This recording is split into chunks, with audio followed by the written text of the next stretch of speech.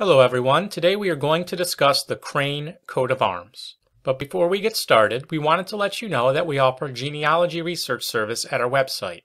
Please visit us at coadb.com. First crane coat of arms to discuss is blazoned Argent, a crane standing on a staff raguly in base vert. This arms belong to the Cranes of Camborne and County Cornwall, England.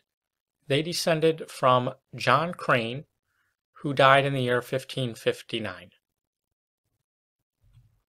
Next we have Per Bend, Or, and Azure, said to be borne by Francis Crane, who was born around the year 1579 of Mortlake, County Surrey.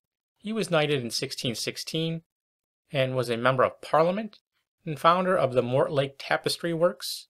His family descended out of Cornwall and his brother, Sir Richard Crane, was created a baronet in 1643.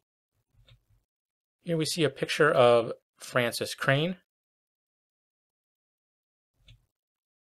Next, the Crane Baronetcy of Chilton was created in the county of Suffolk in 1627 for Sir Robert Crane, born 1586.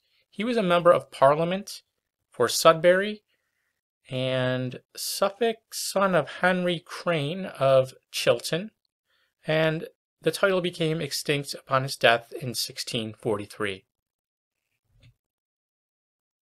Next, the arms says here Crane of London, granted in 1606 to John Crane, clerk of the kitchen to King James I. And a similar coat of arms that has an annulet, two annulets, and one crane. And if you enjoyed this video, please visit us at coadb.com. Thank you very much.